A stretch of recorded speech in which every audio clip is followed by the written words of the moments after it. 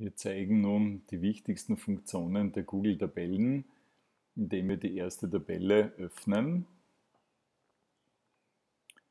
Wir haben hier ein paar Werte eingegeben und die Summe gebildet. Äh, eine wichtige Funktionalität bei Tabellen ist, dass wir äh, Zeilen einfügen, löschen können.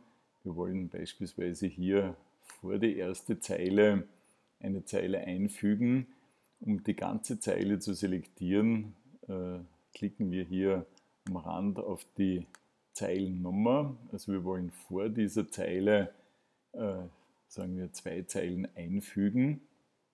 Dazu gibt es im Einfügen-Menü äh, den Befehl Zeile oberhalb einfügen, falls es oberhalb sein soll oder unterhalb für Zeilen unterhalb der selektierten, ausgewählten Zeile. Ja, wir wählen zweimal Zeile oberhalb einfügen aus und haben zwei Zeilen eingefügt. Und nun ist, also es gibt viele Möglichkeiten oder Tricks, Tipps, ähm, wie man mit Tabellen umgeht. Wenn von vornherein nicht klar ist, wie viele Werte wir summieren wollen, äh, ist es besser, wenn wir die Summe nicht am Ende, also das heißt unten unterhalb der Liste der Zahlen bilden, sondern oberhalb. Und wir wollen daher das, was wir hier in der Zeile 6 äh, als Summe gebildet haben, äh, nach oben verschieben, indem wir im Bearbeiten-Menü äh, den Inhalt, den ausgewählten, ausschneiden und in der Zeile 1 mit Einfügen einsetzen. Die Formel für die Summe ist unverändert geblieben. Es werden die Zahlen von äh, B3, Zelle B3 bis B5 summiert. Wir können das nun ändern, indem wir hier zum Beispiel den Wert B20 eingeben. Wir sehen auch hier beim, bei der Selektion optisch dass nun die Summe über diese Zahlen gebildet wird. Das wollen wir nun ausprobieren, indem wir die Formel abschließen und hier ein paar weitere Werte eingeben und jeweils sehen, wie sich die Summe verändert. Wenn wir eine Spalte haben mit Zahlen, wie das im Fall der Spalte B äh, ist, ist es auch oft üblich, dass wir die Zahlen mit Komma darstellen. Wir wollen daher das Format ändern und angeben, dass wir beispielsweise hier das als Währung in Euro dargestellt haben wollen. Wenn das eine Einnahmen-Ausgaben-Rechnung darstellen soll, ist es auch vernünftig, wenn wir die Spalten beschriften. Wir fügen daher über der ersten Zeile eine weitere Zeile ein und schreiben über diese Spalte Ausgaben und zum Beispiel über die Spalte D Einnahmen. Ja, auch fett schreiben.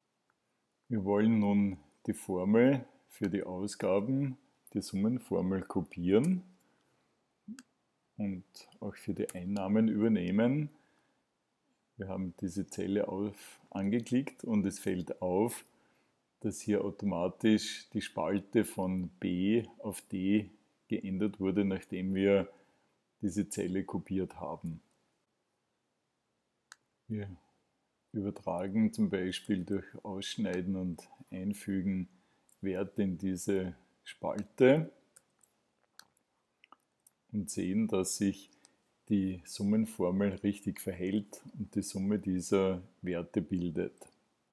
Die Ausgaben und Einnahmen Spalten besser optisch zu sehen, können wir sie einfärben.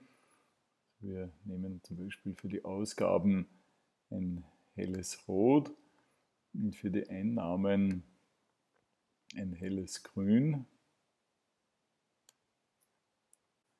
Und wir verändern für die ersten beiden Zeilen die Fontgröße auf 12 und fügen außerdem noch eine Linie unterhalb der zweiten Zeile ein,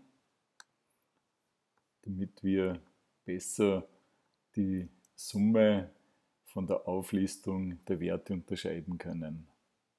Wir wollen als nächstes den Abstand zwischen Spalten verändern, zum Beispiel die Spalte C schmäler machen. Dazu wählen wir die Begrenzung hier aus, indem wir mit der Maus darauf klicken, die Maustaste gedrückt halten und die Spalte kleiner machen. Analog wollen wir die Spalte A größer machen, indem wir das nach rechts verschieben. Nehmen wir an, die Kalkulation soll berechnen, wie viel ein Elektrofahrzeug in der Anschaffung und im Betrieb über eine längere Zeit kostet, dann könnten wir die Texte entsprechend ändern. Anschaffung beispielsweise 36.000. Äh, dann erhalten wir beispielsweise eine Umweltprämie, die verbuchen wir als Einnahme. Wir gehen hier mit der Tabulator-Taste zwischen den Spalten weiter. Äh, die soll 3500 Euro betragen. Als nächsten Schritt wollen wir die Wartungskosten berechnen. Die hängen von der Nutzungsdauer ab. Wartungskosten. Und hier ist es äh, gut, wenn wir äh, die Parameter, die einfließen, explizit darstellen. Also wir können hier zum Beispiel äh, in diese Spalte schreiben ähm, Nutzungsdauer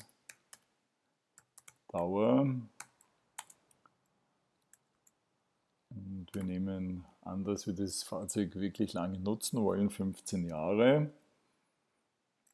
Wir auch die Einheit dazu schreiben und wir nehmen an, dass die Wartungskosten beispielsweise 500 Euro pro Jahr betragen, dann können wir hier die Formel anwenden, indem wir sie beginnen mit ist gleich und dann klicken wir in die äh, Zelle die Anzahl der Jahre, also 15, äh, vom Wert her, wie wir ihn eingetragen haben, mal die Wartungskosten pro Jahr. Und wir halten die 7500 berechnet, würde sich die Nutzungsdauer ändern, zum Beispiel auf 8 Jahre hätten wir die 4000, wir belassen das bei den 15 Jahren. Dann kommen wir zum nächsten Ausgabenposten. Das sind die Stromkosten. Auch über die gesamte Nutzungsdauer. Wir nehmen an, dass äh, die Stromkosten pro Kilometer äh, sehr günstig sind, zum Beispiel 0,05 äh, Euro Cent pro äh, Kilometer. Und wir nehmen an, dass die äh, Kilometer Leistung pro Jahr beispielsweise 20.000 beträgt, Kilometer pro Jahr. Hier sehen wir, dass wir die Spalte F etwas vergrößern sollten. G können wir etwas schmäler machen und dann können wir die Stromkosten ausrechnen, indem wir wieder die Formel mit ist gleich beginnen. Die Stromkosten mal die Kilometerleistung multiplizieren mal die Nutzungsdauer äh, ergibt 15.000 Euro. Hier sehen wir auch, wir haben nicht die gesamte nicht alles formatiert, weil wir das da übertragen haben. Wir wollen hier das noch nachholen und das als Währung formatieren. Durch das Ausschneiden ist auch die Formatierung verloren gegangen. Wir löschen auch noch die 20 Euro, die wir zuerst von links nach rechts kopiert haben. Und dann äh, nehmen wir noch an die Batterie äh, Satzkosten sind hoch bei einem Elektrofahrzeug, sagen wir bei einem Elektrofahrzeug dieser Preiskategorie 20.000 Euro. Und diese letzte Zeile benötigen wir hier nicht. Dann haben wir die gesamten Ausgaben und die Einnahmen. Und ja, wir wollen auch die Differenz berechnen. Die beträgt in dem Fall wieder mit einer Formel berechnet die Einnahmen minus die Ausgaben, also minus 75.000 Euro. Damit können wir die Kosten pro Kilometer berechnen,